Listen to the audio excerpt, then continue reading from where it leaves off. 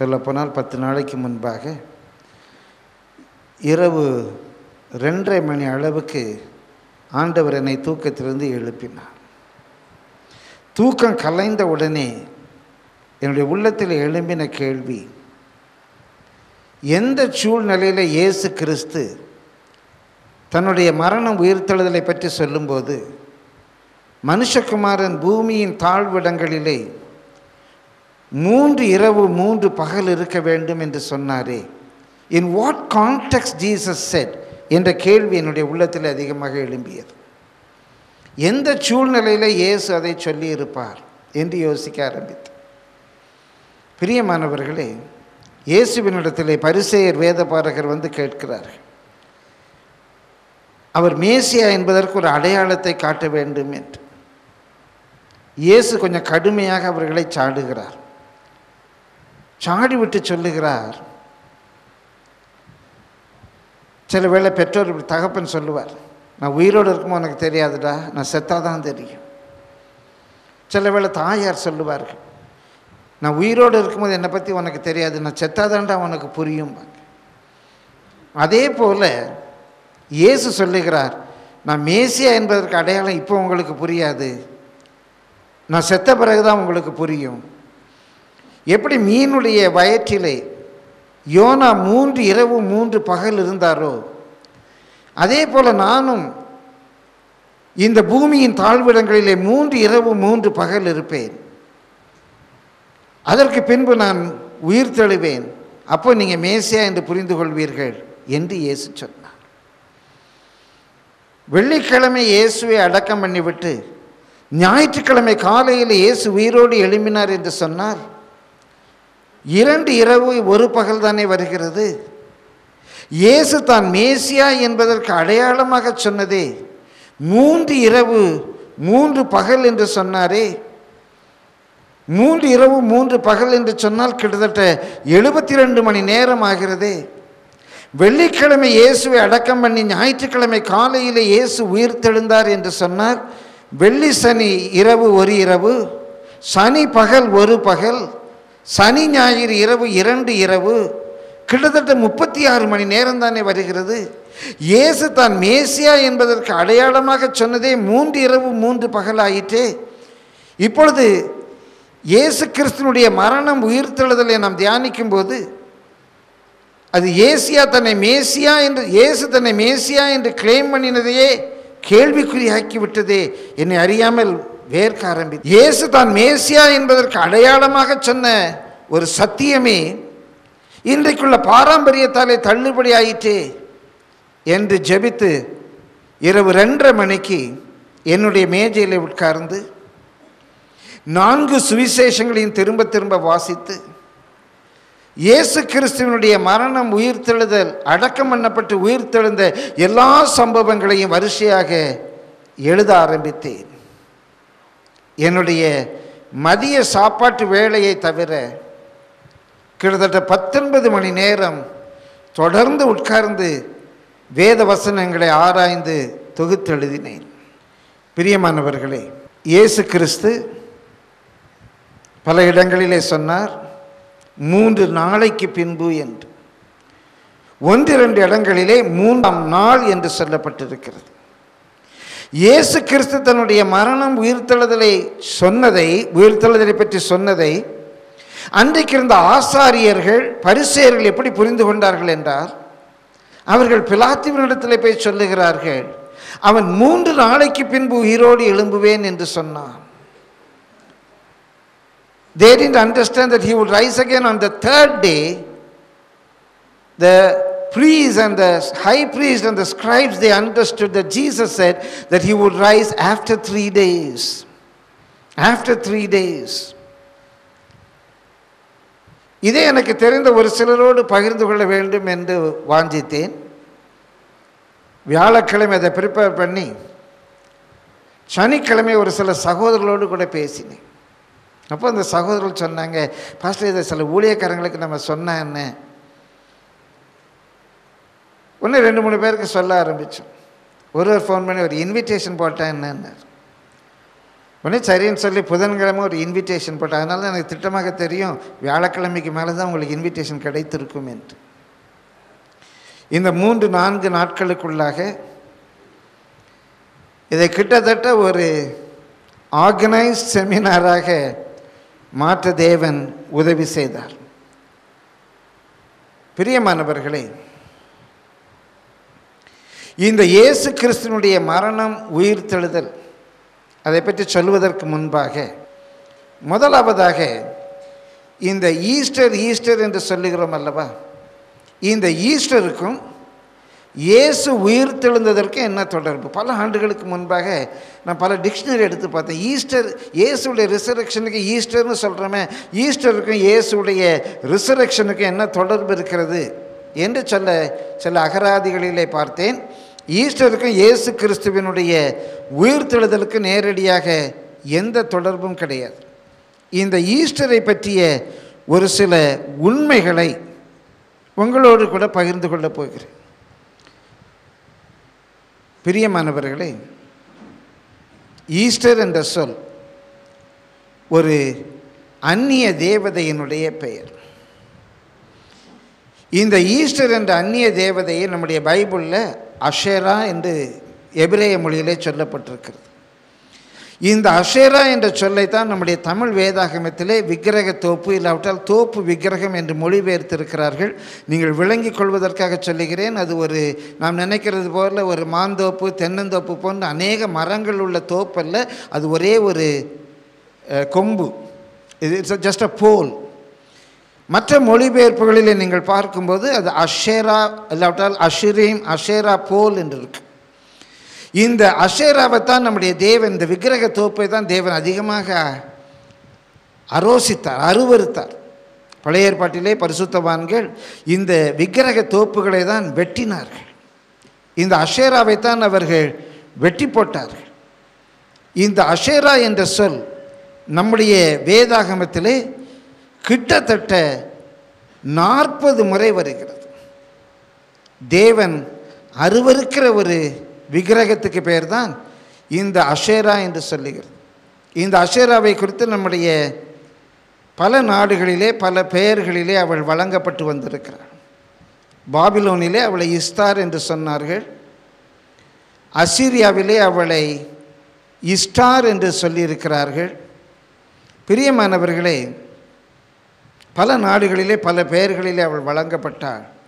வரலாற்று ஆசிரியர்கள் சொல்லுகிறார்கள் இந்தியாவிலே அதே அஸ்டார்டே அஷரா அவளை துர்கா என்று சொல்லி வணங்குகிறார்கள்.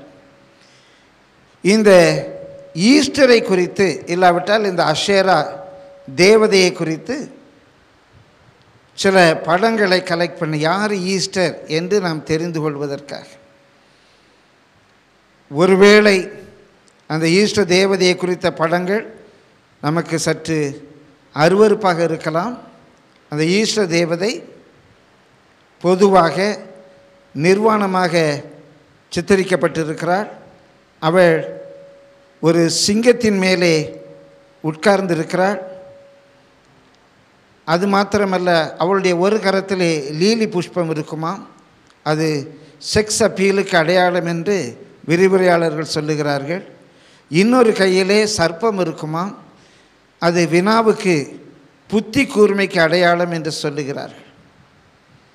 அவளுடைய ஆங்கிலோ சாக்சன் பெயர் தான் ஈஸ்டர் அதிலிருந்து தான் நம்முடைய ஆங்கிலத்திலே ஈஸ்டர் என்ற அந்த தேவதையினுடைய பெயர் வந்தது. அதனால்தான் நம்முடைய இந்தியாவிலும் கூட பல விக்கிரகங்களை பார்க்கும்போது அந்த தேவதைகள் சிங்கத்தின் மேலே உட்கார்ந்திருக்கிறது போல இருக்கும். பிரியமானவர்களே இந்த தேவதைகளும் இந்தியாவிலேயும் அவர்கள் நிர்வாணமாக இருக்கிறபடியினாலே தான் பக்தர்கள் அந்த நிர்வாணத்தை மூடுவதற்காக துணி எடுத்து கொடுக்கிற ஒரு பழக்கம் உண்டாம். தேவதைகளுக்கு துணி எடுத்து கொடுக்கிற பழக்கம் அதனாலே தான் வந்ததாம். அவளை இப்பொழுது விலைக்கு சொல்ல நேரமில்லை. இந்த அஸ்டார்டே இல்லாவிட்டால் ஈஸ்டர் இல்லாவிட்டால் அஷரே என்று சொல்லுகிற இந்த தேவதை யார்? இந்த அஷ்டார்த்தை யார்? பிரியமானவர்களே நீங்கள் வேதத்தை படித்து பார்ப்பீர்கள் என்று சொன்னால் ஆதியாகமம் பத்தாம் அதிகாரத்திலே நிம்ரோத்தை குறித்து பார்க்கிறோம். இந்த நிம்ரோத் பலத்த வேட்டைக்காரன் என்று இருக்கிறது ஒரு மொழிபெயர்ப்பில் ஆத்துமாக்களை வேட்டையாடுகிறதிலே பலம் உள்ளவன் என்று இருக்கிறது இந்த நிம்ரோத்தினுடைய மனைவி வரலாற்றில் பார்க்கிறோம். அவளுடைய பெயர் செமிரமீஸ்.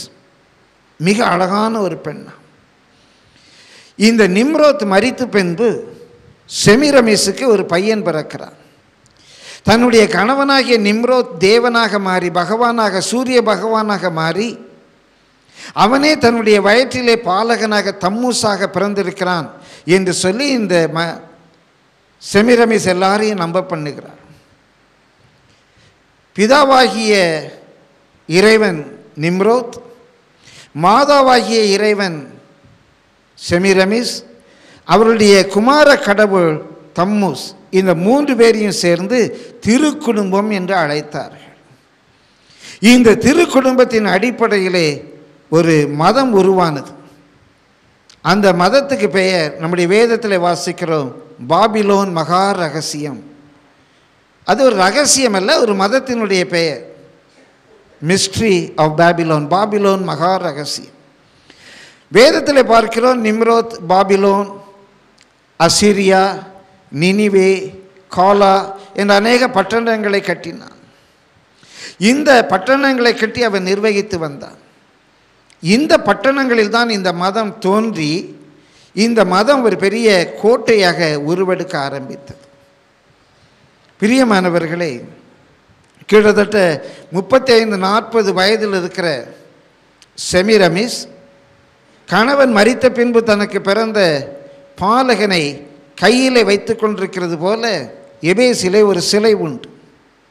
அந்த சிலை தான் இன்றைக்கு அநேக இடங்களிலே மாதா சிலை என்று அறியப்படுகிறது. வேத அறிஞர்கள் இயேசுவின் தாயாகிய மாதாவுக்கும் இன்றைக்கு அநேக இடங்களிலே மாதா சிலை என்று சொல்லுகிறோமே அந்த சிலைக்கு எந்த விதமான சம்பந்தமும் கிடையாது என்று சொல்லுகிறார்கள் ஒரு சில குறிப்புகளை சொல்லுகிறேன் நினைவைத்துக் கொள்ளுங்கள். இயேசு பிறக்கும்போது மரியாளுக்கு கிட்டத்தட்ட பதினாறு பதினேழு வயது இருந்திருக்க வேண்டும். அறிஞர்கள் சொல்லுகிறார்கள் பதிமூன்று வயதிலிருந்து பதினெட்டு வயதுக்குள்ளாக மரியாள் இருந்திருக்க வேண்டும் என்று. ஆனால் பொதுவாக நாம் பார்க்கிற மாதா சிலை கிட்டத்தட்ட முப்பத்தி ஐந்து அல்லாவிட்டால் நாற்பது வயதுள்ள நடுத்தர வயதுள்ள ஒரு பெண்ணினுடைய சிலையாக இருக்கும். அது மாத்திரமல்ல யூதர்கள் பொதுவாக அதிக உயரமானவர்கள் அல்ல பெண்கள். ஆனால் இலக்கியங்களிலே பார்க்கிறோம் இந்த செமிரமிஸ் மிக உயரமான ஒரு அழகிய பெண் என்று சொல்லி. அந்த மாதா சிலையில் இருக்கிற கண்கள் இலக்கியங்களிலே நீல கண்கள் என்று வர்ணிக்கப்பட்டிருக்கிறது. ஆனால் மரியாளுக்கு வரலாற்று ஆசிரியர்கள் நினைக்கிறார்கள் நீல கண்கள் இருந்திருக்க முடியாது யூத பெண்களுடைய கண்கள் கருப்பு கண்கள் என்று சொல்லி. அதே போல் மரியாளுடைய தலைமுடி பொன்மர அந்த செமிரமேசுடைய தலைமுடி பொன்மயமானது என்று இயேசு பிறப்பதற்கு முன்பாகவே ஹோமர் தன்னுடைய இலக்கியத்தில் எழுதியிருக்கிறார். இயேசு கிறிஸ்துவின் தாயாகிய மரியாளுக்கு அப்படிப்பட்ட ஒரு முடி இருந்திருக்க முடியாது. உன்னத பாட்டிலே வாசிக்கிற ஒரு மணவாட்டியினுடைய முடியை பற்றி சொல்லும்போது பொன்னிறம் என்று வர்ணிக்கவில்லை. யூதர்களுடைய முடி பொன்னிறமாக இருந்தது கிடையாது. அது அந்த நாட்களில். இன்றைக்கு அதிகமாக வரலாற்று ஆசிரியர்கள் ஒத்துக்கொள்ளுகிறார்கள். இன்றைக்கு அநேக இடங்களிலே மாதா சிலை என்று ஒரு முப்பத்தி ஐந்து நடுத்தர வயது உள்ள பெண் ஒரு பையனை ஒரு பாலகனை தன் கையில் வைத்திருக்கிற சிலை இயேசு கிறிஸ்துவனுடைய தாயாகிய மரியாள் கிட்டத்தட்ட பதினெட்டு வயதிலே தன்னுடைய கையிலே வைத்திருக்கிற இயேசு பாலகனுடைய சிலை அல்ல. பிரியமானவர்களே இந்த திருக்குடும்பத்திலிருந்து நிம்ரோத் செமிரமிஸ் தம்மூஸ் தம்மூஸை குறித்து எசைக்கல்ல வாசிக்கிறோம். இந்த திரு குடும்பத்திலே தோன்றின ஒரு மதம்தான் மிஸ்ட்ரி ஆஃப் பேபிலோன் என்று நான் உங்களுக்கு சொன்னேன். பிரியமானவர்களே இந்த மிஸ்ட்ரி ஆஃப் பேபிலோனுடைய கிறிஸ்தவ பெயர் பொதுவாக அநேகர் அறிந்திருக்கிறது போல ரோமன் கேத்தலிக் என்று அறியப்படுகிறது. ரோமன் கத்தோலிக்க மதத்திலிருந்து சீர்திருத்த மதங்கள் ரிஃபர்மேஷன் மதங்கள் தோன்றின. ரிஃபர்மேஷன் மதங்கள்ல இருந்து சர்ச்சஸ் உலகம் முழுவதும் பரவ ஆரம்பித்தது. ரோமன் கத்தோலிக் சபையிலிருந்து தோன்றியது சீர்திருத்த சபைகள். சீர்திருத்த சபைகள் மூலமாக மிஷினரி சபைகள் உலகம் முழுவதும் தோன்ற ஆரம்பித்தன. வரலாற்றிலே பார்க்கிறோம். இந்த ரோமன் கத்தோலிக் சபையிலே பின்பற்றின அநேக பண்டிகைகள் ஆச்சாரங்கள் வழிபாட்டு முறைகள் தொடர்ந்து ரிஃபர்மேஷன் சர்ச்சிலேயும் சீர்திருத்த சபையிலேயும் அதன் மூலமாக மிஷினரி சபைகளிலேயும் அந்த பழக்க வழக்கங்கள் பல நூறு ஆண்டுகளாக பரவ ஆரம்பித்தன. பிரியமானவர்களே இந்த இருபதாம் நூற்றாண்டினுடைய ஆரம்பத்திலே அநேக பரிசுத்தவான்கள் நம்ம இந்த ரிஃபர்மேஷன் முறைகள் அல்ல ரோமன் கத்தோலிக் முறைகள் அல்ல. Back to the Bible back to the basics back to the origin வேதத்தில் என்ன சொல்லியிருக்கு அதுக்கு போகணும். வேதத்தில் என்ன சொல்லியிருக்கு அதுக்கு போகணும். பாரம்பரியம் வேண்டாம். நம்ம வேதத்துக்கு பக்கமாக திரும்ப வேண்டும் என்று ஒரு பெரிய முழக்கம் பண்ண ஆரம்பித்தார் டாக்டர் பில்லி கிரகம் அவருடைய ஆரம்ப நாட்களிலே அவர் ஒரு ஒய்எம்சியில் பேச கூப்பிட்டுருக்கும்போது அங்கே உள்ள போர்டில் உள்ள எல்லாரும் சொன்னாங்க இவர் பேச விடக்கூடாது. இவரை பேச விட்டா he will take our you two hundred years back இவர் நம்முடைய வாலிபர்களெல்லாம் இரநூறு வருஷத்துக்கு பின்னால் கூட்டு போயிடுவார் அப்படின்னாங்க. இதை யாரோ போய் பில்லிகிராம்கிட்ட சொன்னாங்க. டாக்டர் பில்லிகிராம் சொன்னார் they totally misunderstood me I'm not trying to take the you two hundred years back I am trying my level best to take you two thousand years பேக்னார் நான் வாலிபர்களை இருநூறு ஆண்டுகளுக்கு பின்பாக அல்ல ரெண்டாயிரம் ஆண்டுகளுக்கு பின்பாக கொண்டு போக முயற்சிக்கிறேன் என்றார். என்னுடைய ஒரு சிறிய முயற்சி அதுதான். இந்த நாட்களை நினைவுகூர வேண்டாம் என்றல்ல. இயேசு மறித்த நாளை நினைவுகூர வேண்டாம் என்றல்ல. இயேசுவே சொன்னார் என் மரணத்தை நினைவுகூரும்படி என்று சொல்லி. அதனால் அவருடைய மரணத்தை நினைவுகூர வேண்டாம் என்றல்ல. அவருடைய உயிர்த்தெழுதலை நினைவுகூர வேண்டாம் என்றல்ல. அவருடைய பிறப்பை நினைவுகூர வேண்டாம் என்றல்ல. Shall we go two thousand years back how the apostles would have it how how the apostles would have it it, the early Christians Christians celebrated these days ஆதியிலே பரிசுத்தவான்கள் எப்படி இந்த நாட்களை அனுசரித்திருப்பார்கள்? இந்த நாட்களை நாம் கொண்டாட வேண்டாம் அனுசரிக்க வேண்டாம் என்றல்ல. பிரியமானவர்களே ஆதியில் இது எப்படி இருந்திருக்கும்? பாதியிலே இது எப்படி வந்தது?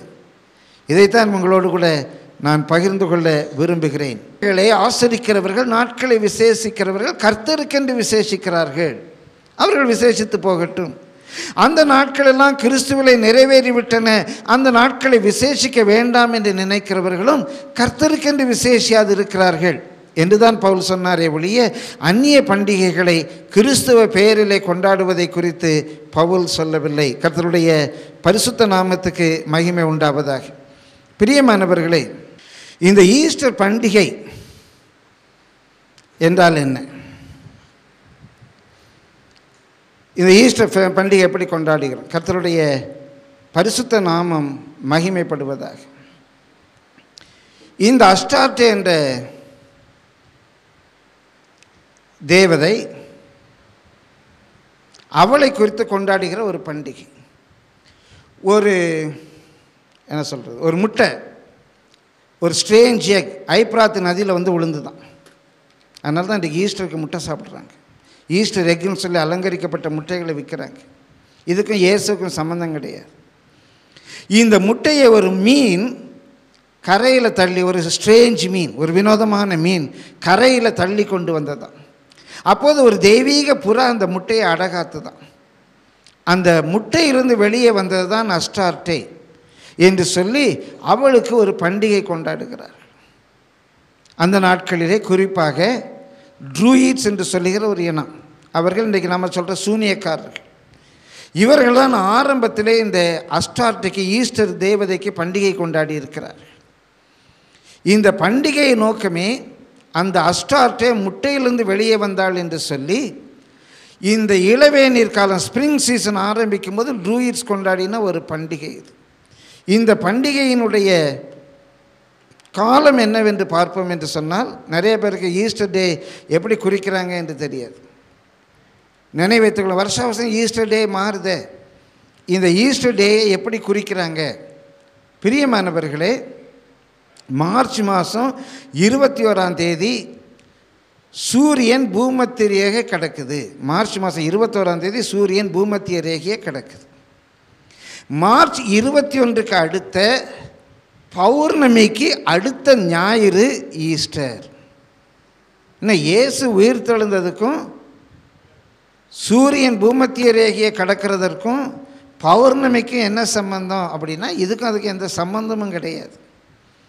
இது அஸ்டார்டைக்கு ஒரு பண்டிகையாக கொண்டாடப்பட்டு கொண்டு வந்தது. பல ஆண்டுகளாக இயேசு பிறப்பதற்கு பல நூறு ஆண்டுகளுக்கு முன்பாகவே இப்படிப்பட்ட ஒரு பண்டிகை கொண்டாடப்பட்டு வந்திருக்கிறது.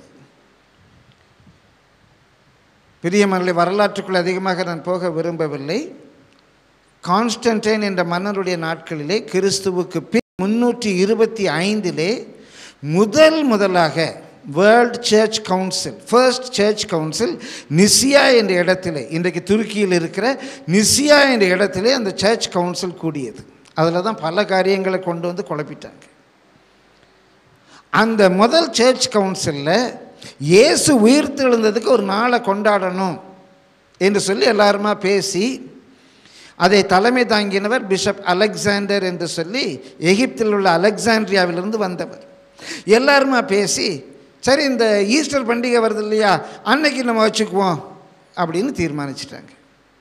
இப்போ நம்ம எல்லாம் சொல்கிறோம் ஒரு ரிட்ரீட் வைக்கணும் என்னைக்கு வைக்கலாம் தீபாவளி என்னைக்கு வச்சுக்குவோம் பொங்கல் அன்னைக்கு போகலாமே அப்படின்னு நம்ம பேசி முடிவு பண்ணிக்கிறது போல் இந்த ஈஸ்டர் பண்டிகை அன்றைக்கு அதை வைத்துக்கொள்வோம் என்று தீர்மானித்தார். ஒரு நாள் வைக்கணும். சரி ஈஸ்டர் வருது. ஈஸ்டர் உலகத்தில் ஒரு பண்டிகை கொண்டாடுறாங்க. நம்ம இயேசு உயிர் தெழுந்த கொண்டாடுவோம்னு சொல்லி கொண்டு வைத்து அதற்கு பெயர் கிறிஸ்தவ பஸ்கா கிறிஸ்டியன் பேசக் என்று வைத்தார் ஈஸ்டருங்கிற பெயர் ஈஸ்டர் அன்னைக்கு தீபாவளி அன்னைக்கு நம்ம ரிட்ரீட் போகிறது போல் ஈஸ்டர் அன்னைக்கு கிறிஸ்தவ பஸ்கா என்று ஒரு நாளை குறித்தார்கள். கிறிஸ்துவுக்கு பின் முன்னூற்றி இருபத்தி ஐந்தில். ஐநூற்றி பதினேழில் ரோமன் கத்தோலிக்க மதம் வந்தது.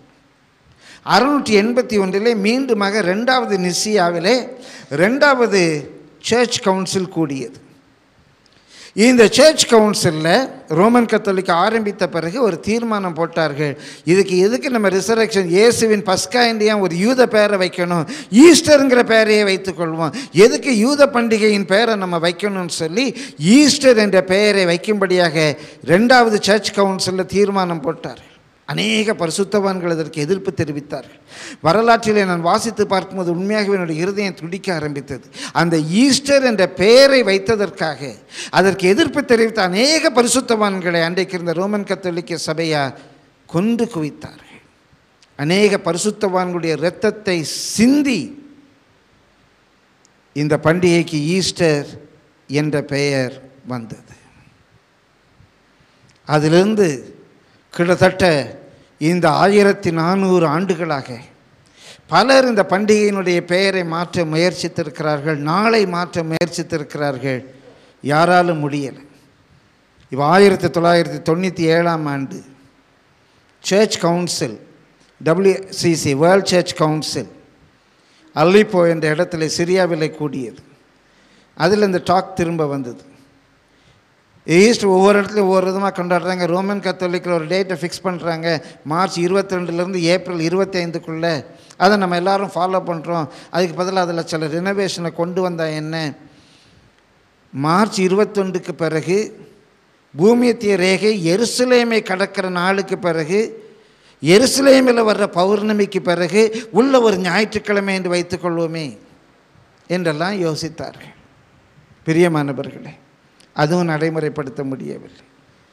இந்த ஈஸ்டர் பண்டிகை அஸ்டார்ட் என்ற தேவதைக்கு கொண்டாடப்பட்ட அந்த பண்டிகை நாளில்தான் இந்த ஆயிரத்தி நானூறு ஆண்டுகளாக அதே பெயரிலே கிட்டத்தட்ட அந்த பழக்க வழக்கங்களெல்லாம் வைத்துக்கொண்டு லேபலை மாத்திரம் மாற்றி நாம் கொண்டாடி கொண்டிருக்கிறோம். பிரியமானவர்களே கர்த்தருடைய பரிசுத்த நாமம் மகிமைப்படுவதாக. அப்படியான இந்த குட் ஃப்ரைடே என்று சொல்கிறோம் அது எப்படி வந்தது? இயேசு தெளிவாக சொன்னார் மூன்று இரவு மூன்று பகல் மனுஷகுமாரன் பூமியினுடைய தாழ்விடங்களிலே இருக்க வேண்டும் என்று சொல். ஆனால் வெள்ளிக்கிழமை காம் இரவு இயேசு மறித்து ஞாயிற்றுக்கிழமை உயிரோடு எழுந்திருப்பார் என்று சொன்னால் மூன்று இரவு மூன்று பகலாக இதுவும் கிறிஸ்தவ பண்டிகை கிடையாது. அந்த வரலாற்றிலே பார்க்கிறோம் இல்லாவிட்டால் இதிகாசத்திலே புராணத்திலே பார்க்கிறோம் இந்த தம்மூசை ஒரு காட்டு பன்றி முற்றி போடுகிறது. வெள்ளிக்கிழமை. இந்த தம்மூஸ் பூமியின் தாழ்விடங்களிலே போகிறான். இந்த தம்மூசுக்காக அநேக பெண்கள் அழுதார்கள். அதைத்தான் எசைக்கல்ல பார்க்கிறோம். தேவன் வேதனைப்படுகிறார். அந்த பண்டிகையை அந்த நாட்களிலேயே யூதர்கள் கொண்டாடி இருக்கிறார்கள். தம்மூசுக்காக அழுகிறவர்கள். எசைக்கல் எட்டாம் அதிகாரத்தில் வாசிக்கிறோம். தேவன் வேதனைப்பட்டு தேவாலயத்தை விட்டே போய்விட்டார். மகா பரிசுத்த ஸ்தலத்தில் இருக்கிற தேவன் பரிசுத்த ஸ்தலத்துக்கு வந்தார் பிரகாரத்துக்கு வந்தார் எருசலேமுக்கு வந்தார். எங்கேயுமே இருக்க முடியாதபடிக்கு அந்த நரகலான பழக்க வழக்கங்களை பார்த்து அவர் மலைக்கு போய்விட்டார். அவர் மலைக்கு போன பின்புதான் இயேசு சொல்லுகிறார் அந்த தேவாலயத்தை இடித்து போடுங்கள் அந்த தேவாலயத்தை இடித்து போடுங்கள் ஏன்? தேவன் அங்கே இல்லை. தேவன் மலைக்கு போயிட்டார். தேவன் தேவாலயத்தில் இருக்க முடியாதபடிக்கு மலைக்கு போனதற்கு நான்கு காரணங்கள் உண்டு. அதில் ஒரு காரணம் அங்கே தம்மூசுக்காக அழுகிற பெண்கள் இருந்தார்கள். தம்மூசுக்காக அழுகிற பெண்கள் என்றால் என்ன?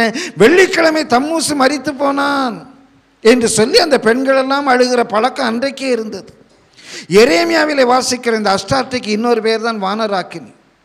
இந்த அஷ்டார்டைக்கு அப்பம் சுடுகிறவர் அப்பம் என்றால் அங்கே பிரெட் அல்ல இங்கிலீஷில் கேக் என்று போட்டிருக்கு. அந்த வார்த்தை கிரேக்க லத்தீன் மொழியிலே பவுன் பிஓயூஎன் பவுன். அதில் தான் இன்றைக்கு பன் வந்தது. அதனால தான் ஈஸ்டருக்கு ஹாட் கிராஸ் பன் என்று சொல்லுகிறோம். அன்றைக்கே இந்த வானராக்கினிக்கு அப்பம் சுடுகிறவர்கள் யூதர்களிலே இருந்தார்கள். இன்றைக்கு நம்முடைய சபையிலே நாம் இருக்கிறோம் என்றல்ல. அறிந்தோ அறியாமலோ நாம் செய்கிறோம் என்றல்ல. எசேக்கியலிலே வாசிக்கிறோம் தம்மூசுக்காக அழுதவர்கள் இருந்திருக்கிறார்கள். எரேமியாவிலே நாம் வாசிக்கிறோம் வானராக்கினிக்கு அப்பம் சுட்டவர்கள் இருந்திருக்கிறார்கள். பிரியமானவர்கள் இதை கண்டு தேவன் வேதனைப்பட்டார். அவர்கள் நடுவில் இருந்து கடந்து போனார். வெள்ளிக்கிழமை தம்மூஸ் அழு இறந்து போனானே என்று பெண்கள் அழுதார்கள்.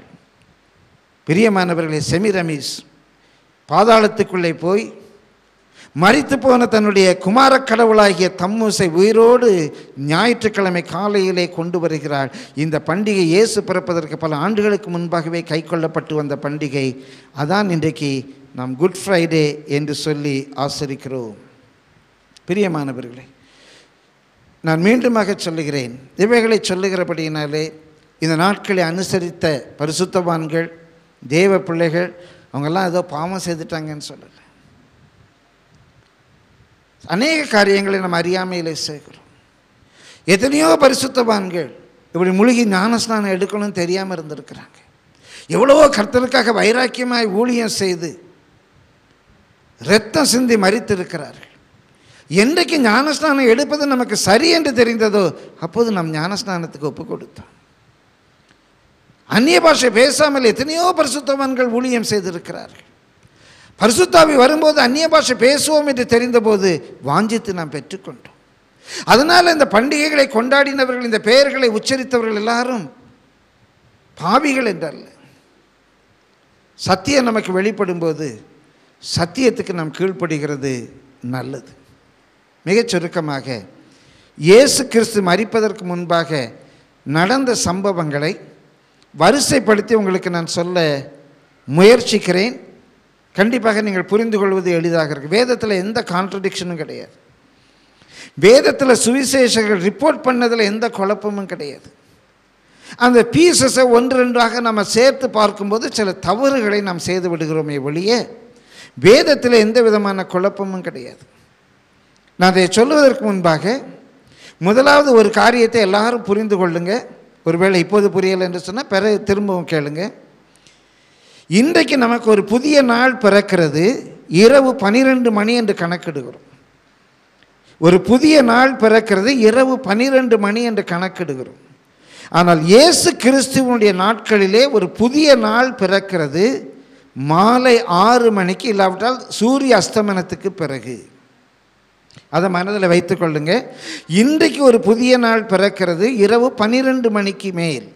ஆனால் இயேசு கிறிஸ்துவனுடைய நாட்களிலே ஒரு புதிய நாள் பிறப்பது மாலை ஆறு மணிக்கு மேல். அதனால்தான் இரவும் பகலும் ஒரு நாள் ஆகும் இரவும் பகலும் ஒரு நாள்.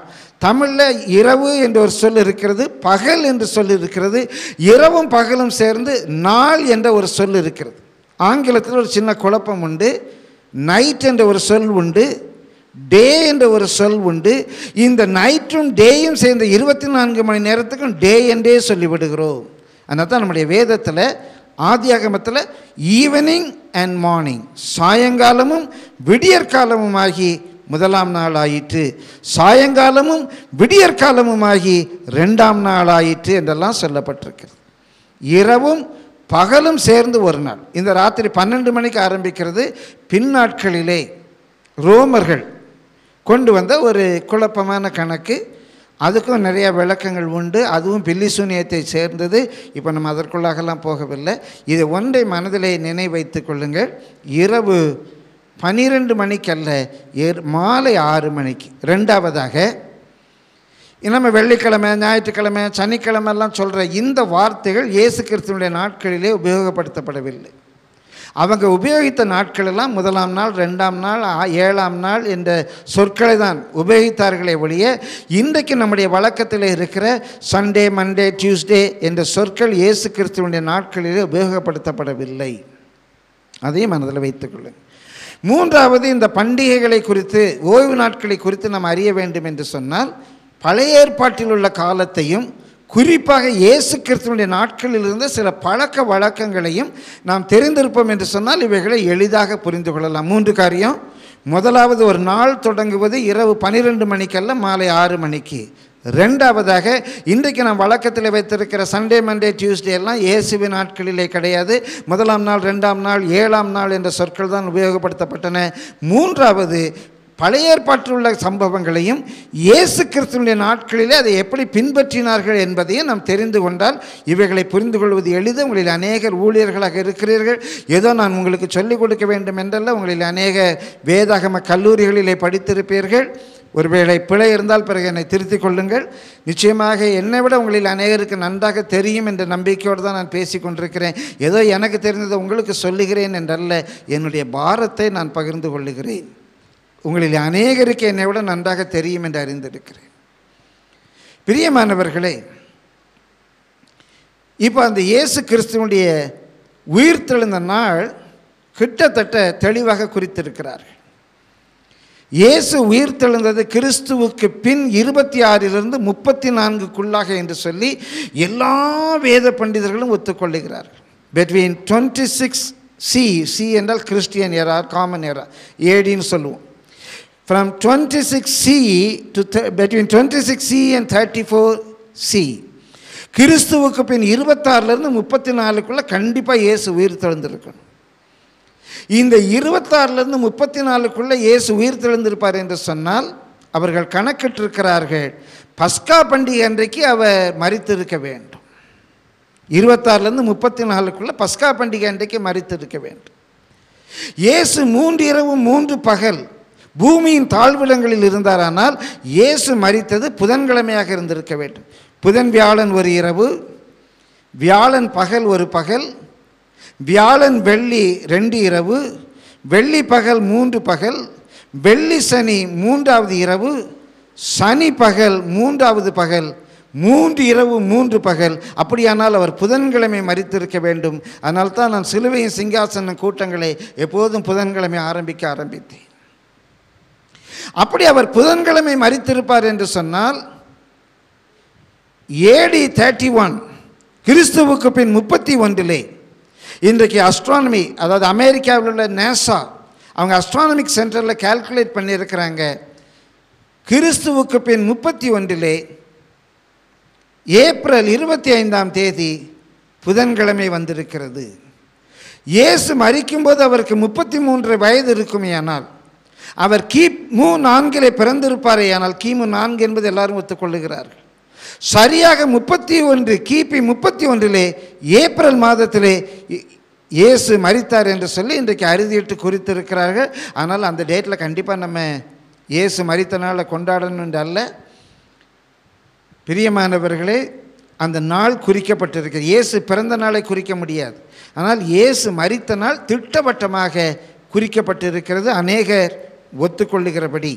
அதை கணக்கில் வைத்து அந்த நாட்களில் நடந்த சம்பவங்களை பார்ப்போம். இயேசு மறித்தது நிசாம் பதினான்காம் தேதி என்று வைத்துக்கொள்வோம். அதான் ஆபிப் மாதம் பதினான்காம் தேதி பஸ்கா பலியிடுகிற நாள். ஆபிப் மாதத்துக்குள்ள இன்னொரு கிரேக்க பெயர் நிசாம். நிசாம் என்றாலும் ஆபிப் என்றாலும் ஒன்று தான் இந்த ஆபிப் மாதம் பதிமூன்றாம் தேதி மூன்றாம் நாள் என்று வைத்துக்கொள்வோம். அது நம்முடைய கணக்கின்படி ஏப்ரல் இருபத்தி நான்காம் தேதி. அன்றைக்கு மாலை வேளையிலே மாலை வேளை வருவதற்கு முன்பாக இயேசுவும் சீஷர்களும் எருசலேமுக்கு வருகிறார்கள். இயேசு தம்முடைய ரெண்டு சீடர்களை அனுப்பி ராபோஜனத்தை ஆயத்தப்படுத்த சொல்லுகிறார். அவர்கள் போய் ராபோஜனத்தை ஆயத்தப்படுத்துகிறார்கள். ராபோஜனத்திலே பங்கு பெறுகிறார்கள். இயேசு பதினாலாம் அதிகாரத்தில் ஒரு பெரிய பிரசங்கம் அவங்களுக்கு பண்ணுறாரு ஜோம் பண்ணுறாரு பதினேழாம் அதிகாரத்தில் யோவானில். ஸ்தோத்திர பாட்டை பாடின பின்பு அவர்கள் கெட்சேமனைக்கு போகிறார்கள். இதுக்குள்ளாக பதினான்காம் தேதி ஆரம்பிச்சிட்டு. நம்ம சொன்னதை நினைவைத்துக்கொள்ளுங்க மாலை ஆறு மணிக்கு அடுத்த நாள் ஆரம்பிச்சிட்டு. இந்த ஆபி மாதம் பதினான்காம் தேதி நிசாம் மாதம் தான் நிசாம் மாதம் பதினான்காம் தேதி தான் பஸ்கா பண்டிகை கொண்டாட வேண்டிய நாள். இந்த பஸ்கா பண்டிகை கொண்டாடுகிறதற்கு உலகத்திலிருந்து லட்சக்கணக்கான ஜனங்கள் கூடி வந்திருக்கிறார். எல்லாரும் ஒரே நேரத்தில் அந்த தேவாலயத்தில் போய் பலி செலுத்த முடியாது. தேவாலயம் சின்ன இடம். லட்சக்கணக்கான ஜனங்கள் போய் தேவாலயத்தில் பலி செலுத்த முடியாது. அதனால் அந்த நாட்களில் மூன்று நாளைக்கு முன்பாகவே பலி செலுத்த ஆரம்பித்து விடுவார் பஸ்கா பண்டிகைக்கு மூன்று நாளைக்கு முன்பாக ரெண்டாவது நாள் ரபிமார். அந்த தான் இயேசு கிறிஸ்துவனுடைய ஆடு பலியிடப்பட்டது. இயேசு கிறிஸ்து பஸ்கா ஆட்டை கொண்டு பலியிட்டன ரபிமார் குருமார் இவங்கெல்லாம் ரெண்டாவது நாள் பலியிடுவார்கள். மூன்றாவது நாள் பஸ்கா பண்டிகை அன்றைக்கு க மூன்றாவது நாள் தான் ஆசாரியர்கள் தங்களுடைய ஆடுகளை பலியிடுவார்கள். பஸ்கா ஆட்டுக்குட்டி சரியாக பலியிட வேண்டிய மூன்று மணிக்கு கடைசி ஆடாக பிரதான ஆசாரியன் தன்னுடைய ஆட்டை வெட்டுமா அதோடு கூட பஸ்கா பண்டிகை முடிஞ்சு போயிடும். இந்த பதினாலாம் தேதி ராத்திரி இயேசு கிறிஸ்து கெத்சமனையில் ஜெபிச்சிட்ருக்கிறாரு. இயேசுவை அரெஸ்ட் பண்ணுறாங்க பிரதான ஆசாரியரிடத்தில் கொண்டு வராங்க பிறகு பிரியமானவர்களே காலை விடியும் போது அதுவும் பதினாலாம் தேதி தான் இயேசு கிறிஸ்துவை பிலாத்துவிடத்திலே கொண்டு வருகிறார்கள். பிலாத்து அரண்மனையிலிருந்து இயேசு கிறிஸ்து ஏரோதிட்ட கொண்டு போகப்படுகிறார். ஏரோதிட்டிருந்து இயேசு கிறிஸ்துவை திரும்ப பிலாத்திட்ட கொண்டு வர்றாங்க. பிலாத்தை அடித்து அவரை கிழித்து அதான் எசிடோனோ ஹியூமோ என்று சொல்கிறது இதோ பிஹோல் திஸ் மேன் அடி அடின்னு அடித்து கிழித்து கொண்டு வந்து விடுறாரு. அப்போ கூட அவங்கெல்லாம் கத்துறாங்க சிலுவையில் அறையும் சிலுவையில் அறையும் சிலுவையில் அறையும்னு சொல்லிட்டு இது நம்ம கணக்குக்கு புதன்கிழமை காலையில் அவங்க கணக்கு பஸ்கா பண்டிகை அன்றைக்கு காலையில் அந்த இயேசு கிறிஸ்துவை அடித்து உதச்சி கடைசியில் சிலுவையில் அறையும்படியாக ஒப்பு கொடுக்கிறார்கள் பிரியமானவர்களே அந்த நாள் ஆயத்த நாள். பஸ்கா பண்டிகை அன்றைக்கே இன்னொரு பண்டிகை இருக்குது. அது ஒரு ஆயத்த நாள். அது என்ன ஆயத்த நாள் நான் பிறகு சொல்கிறேன் அன்றைக்கு அதே பதினான்காம் தேதி நிசாம் மாதம். இயேசு கிறிஸ்து சிலுவையில் அறையும்படியாக கொண்டு போகிறார்கள். வேதத்தில் வாசிக்கிறோம் ஒன்பது மணிக்கு இயேசு கிறிஸ்து சிலுவையிலே அறையப்பட்டார் என்று. சரியாக ஒம்பது மணிக்கு முதல் ஆணி அடித்தானா கடைசி ஆணி அடித்தானா இல்லை சிலுவையை குழியில் நட்டானா என்றெல்லாம் நமக்கு தெரியாது. மூன்று கல்லர்களை அடிக்கணும் அங்கே போன உடனே அவன் குடிச்சு கிடிச்சு முடிச்சுட்டு எப்போ ஆணி அடிக்க ஆரம்பித்தானோ எப்போ ஆணி அடித்து முடித்தானோ அங்கே ஒரு பெரிய குழி இருக்கும். அந்த குழியில் மூணு சிலுவையும் இறக்கணும். அதுக்கு கிரெயின் மாதிரி ஒரு மிஷின் வச்சுருப்பாங்க. அந்த மிஷினை வச்சு தூக்கி அது உள்ளுக்கு போட்டு அந்த சிலுவை இல்லாத சிலுவை கீழே உலாதபடிக்கு இருத்தணும் அதுக்கு எது- கிட்டத்தட்ட மூணு மணி நேரம் ஆயிருக்கு. அதனால் இயேசுவை சிலுவையில் அறைய ஆரம்பித்த நேரம் நம்ம கணக்குக்கு காலை ஒன்பது மணிக்கு. நிசா மாதம் பதினான்காம் தேதி. இன்றைக்குள்ள வா அஸ்ட்ரானமிக்கல் சயின்ஸில் கண்டுபிடிச்சிருக்கிறாங்க. கம்ப்யூட்டரை வச்சு அது ஏப்ரல் மாதம் இருபத்தி ஐந்தாம் தேதி என்று சொல்லி. பிரியமானவர்களே இயேசு மரித்தவுடனே அந்த நான்காம் நாளிலே இருபத்தி ஐந்தாம் தேதி மூன்று மணிக்கு இயேசு ஜீவனை விட்டார். பன்னெண்டு மணிலேருந்து மூணு மணி வரைக்கும் இல்லை ஒன்பது மணிலேருந்து மூன்று மணி வரைக்கும். ஆனால் ஒன்பது மணி என்றால் எப்போ அடைஞ்சு அவரை எப்போ உயர்த்தினாங்களோ தெரியலை. பன்னெண்டு மணிலேருந்து மூன்று மணி வரைக்கும் பூமியிலே காரிருள் இருந்தது. மூன்று மணிக்கு சரியாக இயேசு தன் ஜீவனை விட்டார். அதில் ஒரு பெரிய ரகசியம் என்னவென்றால் இயேசு இங்கே கல்வாரியில் இயேசு ஜீவனை விடுகிறார். தேவாலயத்தில் பண்டிகை நடந்துக்கிட்டு இருக்கு கடைசி ஆடு பிரதான ஆசாரியனுடைய ஆடு அதான் பஸ்கா ஆடு. பிரதான ஆசாரியன் தன்னுடைய பஸ்கா ஆட்டினுடைய தலையை வெட்டுறான். இயேசுவின் ஜீவன் அங்கே போகுது. கரெக்டாக அதே டைமில் சிங்க்ரனைஸ் சிங்க்ரனைஸ் ஆகுது. தேவாலயத்தின் திரைச்சியில் மேலிருந்து கீழே வரைக்கும் ரெண்டாக கிழியுது. மூன்று மணிக்கு இயேசு தன் ஜீவனை விட்டார். பிரியமானவர்களே அன்றைக்கு மாலைக்குள்ளாகவே சூரியன் அஸ்தமிக்கிறதுக்குள்ளாக அரிமத்தி ஊரானாகிய யோசேப்பு நிக்கோதேமு இந்த எருசலேமிலிருந்து போல பெண்கள் இவங்கெல்லாம் அந்த பதினான்காம் தேதி மாலைக்குள்ளாக ஆறு மணிக்குள்ளாக கடகடன்னு இயேசுவை அடக்கம் பண்ணிடுறாங்க. எல்லாம் ரொம்ப அவசரமாக நடக்கும் எல்லாம் பக்கத்து பக்கத்து இடம்தான். ஏன் மாலைக்குள்ளாக அடக்கம் பண்ணாங்கன்னா பஸ்கா பண்டிகைக்கு அடுத்த நாள் நிசாம் பதினைந்தாம் தேதி அவர்களுக்கு பெரிய ஓய்வு நாள். லேவியராகம் இருபத்தி மூன்றாம் அதிகாரத்தை நீங்கள் வாஸ்து பார்த்தீங்கன்னா தெரியும் பஸ்கா பண்டிகைக்கு அடுத்த நாள் புளிப்புள்ள அப்ப பண்டிகை ஆரம்பிக்குது. எட்டு நாட்கள் புளிப்புள்ள அப்ப பண்டிகை. இந்த புளிப்புள்ள அப்ப பண்டிகையினுடைய முதல் நாளும் ஓய்வு நாள் எட்டாவது நாளும் ஓய்வு நாள். அப்போ பஸ்கா பண்டிகை பதினான்காம் தேதி பதினைந்தாம் தேதி ஓய்வு நாள். அதனால தான் என்ன ஐயா ரெண்டு இடத்துல ஓய்வு நாள் ஓய்வு நாள். ஆயத்த நாளாக இருந்துச்சு பஸ்கா நாளாக இருந்துச்சு ஆயத்த நாளாக இருந்தபடி நாளெல்லாம் இருக்குமே. இந்த பஸ்கா பண்டிகையும் ஆயத்த நாளும் ஒரே நாள். பெரிய ஓய்வு நாளுக்கு ஹை சபத். இந்த பெரிய ஓய்வு நாளுக்கு இது ஒரு ஆயத்த நாள். இந்த ஓய்வு நாள் சரியாக பதினாறாம் பதினாலாம் தேதி மாலையில் ஆரம்பிக்குது. அவசர அவசரமாக ஏசு ஏன்னா ஓய்வு நாளில் அவங்க அடக்கம் பண்ணக்கூடாது. அவசர அவசரமாக சூரியன் அஸ்தமிக்கிறதற்குள்ளாக இயேசுவை அடக்கம் பண்ணிவிட்டு எல்லாரும் ஓய்வு நாளை அனுசரிக்கும்படியாக வீட்டுக்கு போய்விட்டார்கள். இப்போது நிசாம் பதினைந்தாம் தேதி ஆரம்பிக்கிறது. அது நமக்கு இன்னும் புதன்கிழமையாகத்தான் இருக்குது. அப்போ தான் இந்த பரிசெயர்கள்லாம் போய் பில பிலாத்திட்ட கேட்குறாங்க அவர் கல்லறைக்கு காவல் போடுங்க. அவர் மூன்று நாள் கழித்து உயிரோடு எழும்புவேன் சொன்னாரே அப்படிலாம் சொல்லிடுறாங்க. அன்றைக்கு அவருடைய கல்லறைக்கெல்லாம் காவல் போடுகிறார்கள். இந்த நிசா மாதம் பதினைந்தாம் தேதி இந்த ஓய்வு நாளிலே அந்த மாலை வேலை வரைக்கும் அந்த மாலை வேலை வரைக்கும் வேலைக்கிழமை மாலை வேலை வரைக்கும் எல்லாம் அமைதியாக இருக்காங்க. யாரும் எந்த வேலையும் செய்யலை. இயேசு கல்லறையில் இருக்கார். இந்த பெண்கள் எல்லாம் வீட்டில் இருக்கிறாங்க. ஆசாரியர்கள்லாம் ஓய்ந்திருக்கிறாங்க புளிப்பில் அப்ப பண்டிகையினுடைய முதல் நாள் முடிகிறது. ரெண்டாவது நாள் நிசா மாதம் பதினாறாம் தேதி. பிரியமானவர்களே வெள்ளிக்கிழமை. இது வார ஓய்வு நாளுக்கு முந்தைய ஆயத்த நாள் வருது இப்போ வெள்ளிக்கிழமைக்கு அடுத்தால சனிக்கிழமை வரப்போது வாராந்திர ஏழாம் நாள் ஓய்வு நாள் வருது. அதற்கு முந்தைய ஆயத்த நாள். இந்த ஆயத்த நாள் ஆரம்பித்த உடனே சன்செட்லேருந்து ஆரம்பிக்கும். இந்த ஆயத்த நாளில் தான் இந்த பெண்கள்லாம் போய் அவர் அடக்க ஆராதனைக்கு சில வாசனை பொருட்கள் கந்தவர்க்கம் அதெல்லாம் வாங்கி ஆயத்தப்படுகிறார்கள். இது ரெண்டாவது ஆயத்த நாள் நீங்கள் ஒரு சுவிசேஷத்தில் வாசிக்கும்போது அவங்க எல்லாவற்றையும் ஆயத்தம் பண்ணிவிட்டு ஓய்ந்திருந்தார்கள் என்று இருக்கும். இன்னொரு சுவிசேஷத்தில் வாசிக்கும்போது ஓய்ந்திருந்துட்டு ஆயத்தம் பண்ணாங்கன்னு இருக்கும். எதுலையா தப்பு? சுவிசேஷத்தில் தப்பே கிடையாது. தப்பெல்லாம் நம்மகிட்ட தான் சுவிசேஷத்தில் தப்பே கிடையாது. அவர்கள் ஆயத்தம் பண்ணிவிட்டு ஓய்ந்திருந்ததும் உண்மைதான். ஓய்ந்திருந்து விட்டு ஆயத்தம் பண்ணினதும் உண்மைதான். பஸ்கா பண்டிகைக்கு அடுத்த ஓய்வு நாளாகிய பெரிய ஓய்வு நாளில் அவர்கள் ஓய்ந்திருந்து விட்டு வெள்ளிக்கிழமை ஆயத்தம் பண்ணினார்கள். வெள்ளிக்கிழமை ஆயத்தம் பண்ணிவிட்டு வாராந்திர ஓய்வு நாளாகிய சனிக்கிழமையிலே அவர்கள் ஓய்ந்திருந்தார்கள். அவ்வளோதாங்க பைபிளில் குழப்பமே கிடையாது. ஆதியாக முதற்கொண்டு வெளிப்படுத்தின விசேஷம் வரைக்கும் ஒரு கான்ட்ரடிக்ஷன் கிடையாது. கான்ட்ரடிக்ஷன் இருக்கும் என்று சொன்னால் ஒன்று மொழிபெயர்ப்பில் தவறு இருக்கலாம். அதிலும் கூட அதிகமான தவறு இருக்க முடியாது. நாம் விளங்கி கொள்ளுவதிலே தவறு இருக்கும். பிரியமானவர்களே இந்த ஓய்வு நாளிலே ஆறாம் நாள் அவர்களுக்கு ஆயத்த நாள் அவர்கள் எல்லாம் ஆயத்தப்படுறாங்க. ஆயத்தம் பண்ணிட்டு சாயந்தரம் வந்த உடனே அவர்கள் மீண்டுமாக சனிக்கிழமைக்காக ஓய்ந்திருக்க ஆரம்பிக்கிறார்கள். அவர்களுடைய ஏழாம் நாள் ஆரம்பித்து விட்டது. நமக்கு இன்னும் அது ஃப்ரைடே ஈவினிங் ஃப்ரைடே ஈவினிங் ஆறு மணிக்கு மேலே அவர்களுக்கு ஓய்வு நாள் ஆரம்பித்து விட்டது. அந்த சனிக்கிழமை அவர்கள் எல்லாரும் ஓய்ந்திருக்கிறார்கள். ஒரு வேலையும் செய்யலை. இயேசு இன்னும் கல்லறையிலேயே இருக்கிறார்.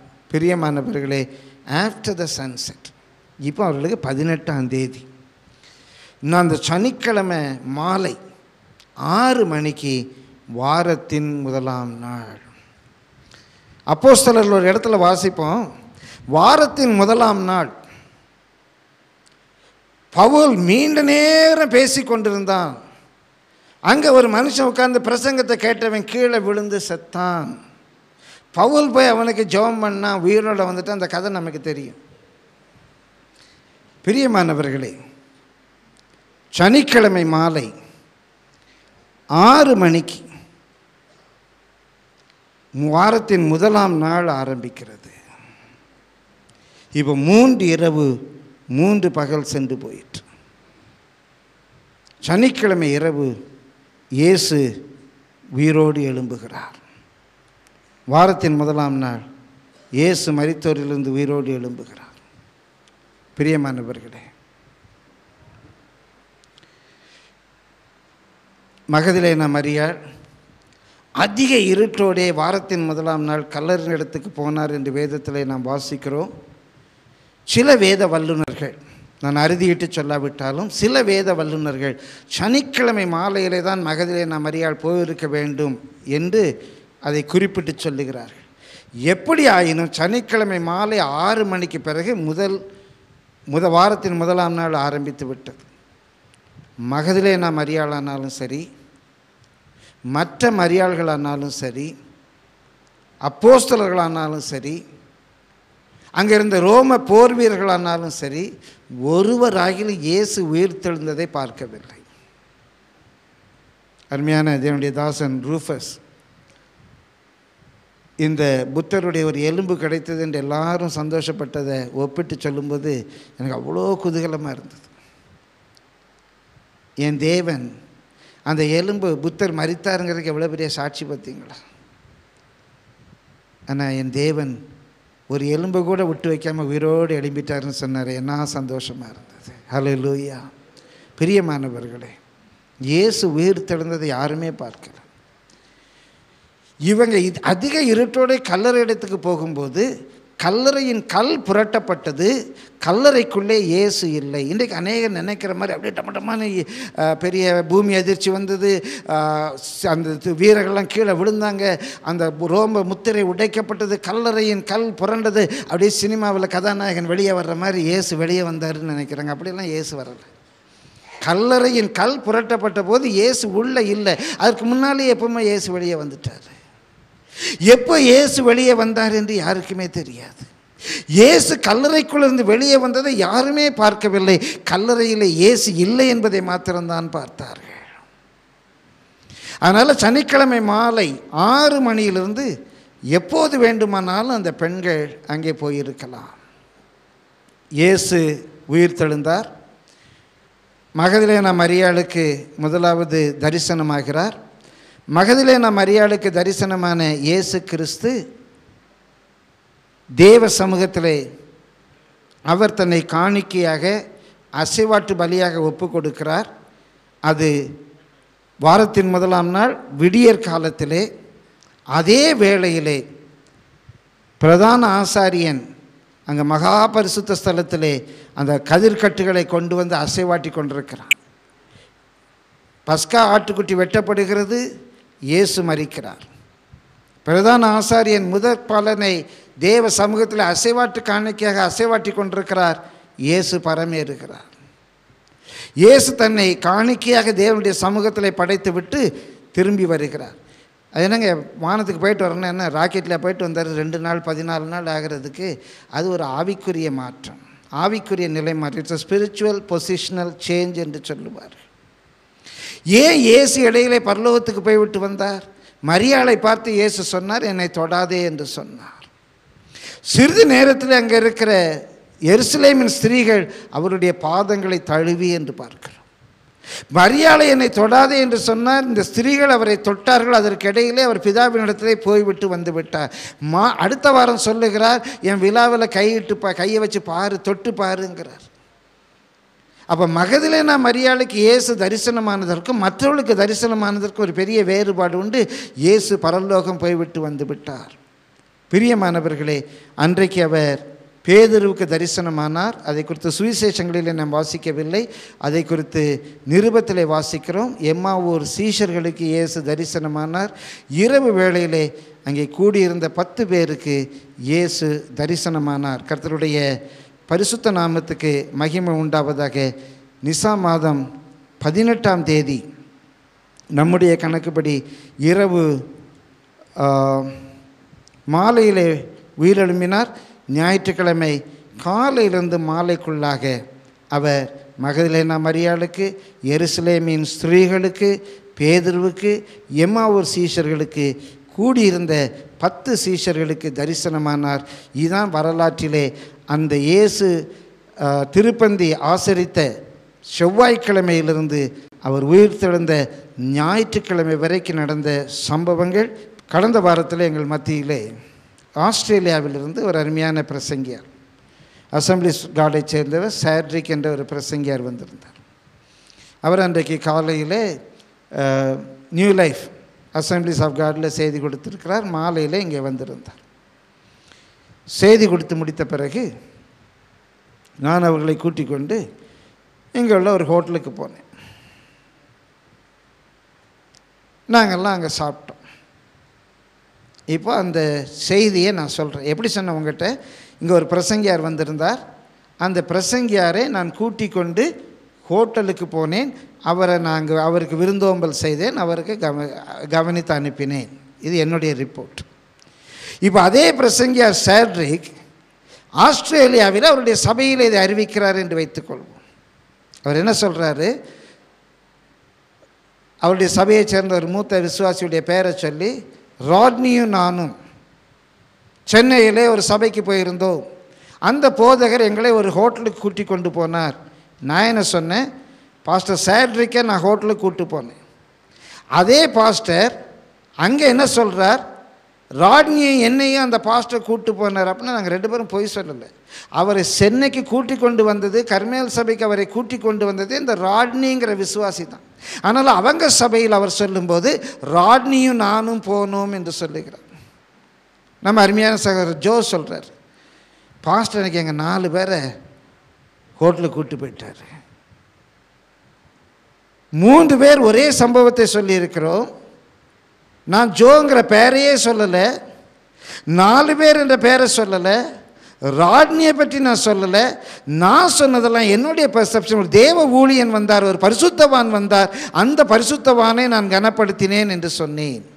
அதே பரிசுத்தவான் ஆஸ்திரேலியாவில் தன்னுடைய சபையிலே சொல்லும்போது அவருக்கு இங்கே இருந்த ஜோவை பற்றியும் அல்ல ராபர்ட் சேமனி யாருக்கும் தெரியாது கூட வந்த ஆட்களையும் தெரியாது.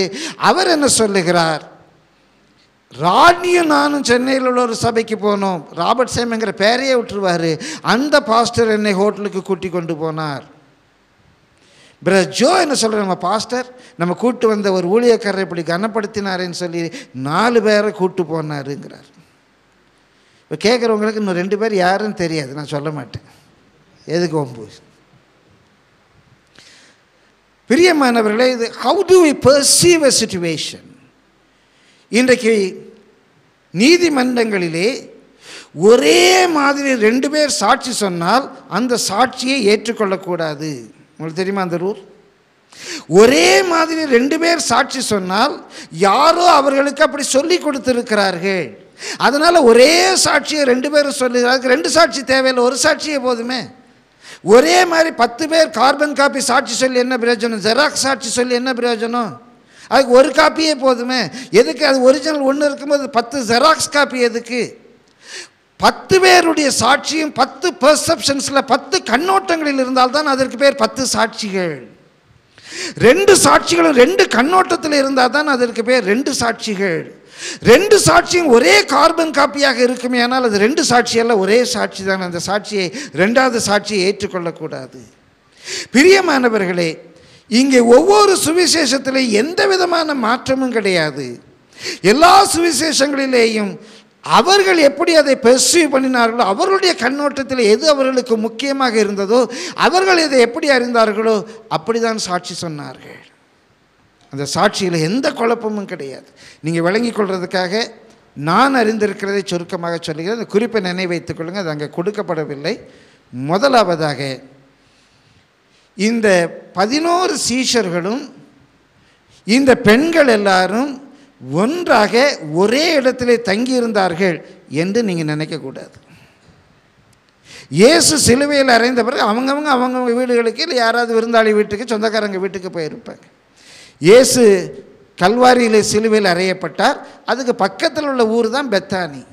அங்கே தான் எப்பவுமே நைட்டில் அவர் ஸ்டே பண்ணுவார். அதனால் சில சீடர்கள் எருசலேமிலிருந்து இயேசு பண்ணிக்கவும். கலீலியாவிலிருந்து இயேசுவோடு வந்த சில பெண்கள் இவர்கள் எல்லாரும் பெத்தானியிலே ஒருவேளை தங்க போயிருக்கலாம். இயேசு தங்குகிற வழக்கம் அது. அங்கே ஜோவன்னா யோவன்னா என்று சொல்லப்படுகிறவள் அவள் ஏரோதுடைய செக்ரட்டரி மனைவி.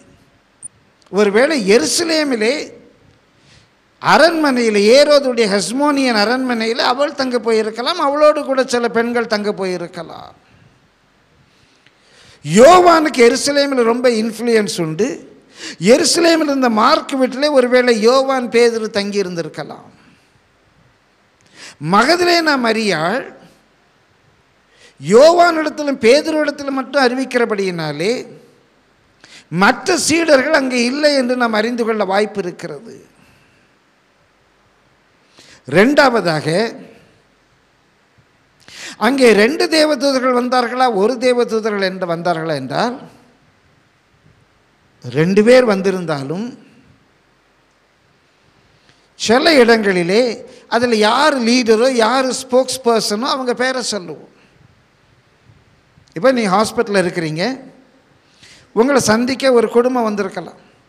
கணவன் மனைவி சொந்தக்காரங்க அவங்க பிள்ளைங்க யாரையும் கூப்பிட்டு வந்திருப்பாங்க. யார் வந்தா என்று சொல்லுவோம்? சோன்சோ வந்தார்கள் என்று சொல்லுவோம்.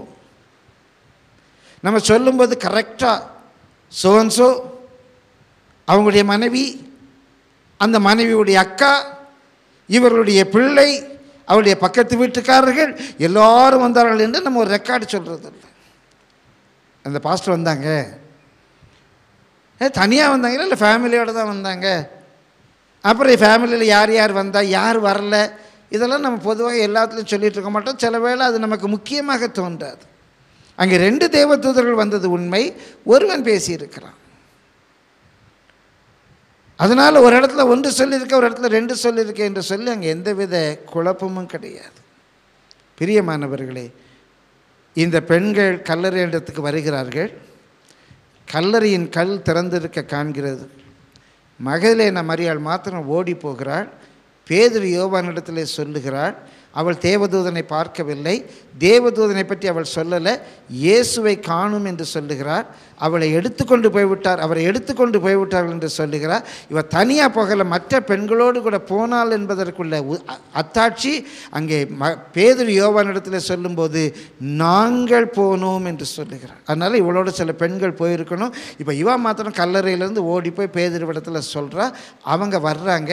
அவங்க வந்து சேர்றதுக்குள்ளே இந்த பெண்கள் கல்லறையின் பக்கத்தில் நின்றுக்கிட்டு இருக்கிறாங்க இந்த பெண்களுக்கு தேவதூதர்கள் காட்சி அளிக்கிறாங்க. இந்த செய்தியை கேட்டுட்டு இந்த பெண்கள் வர்றாங்க.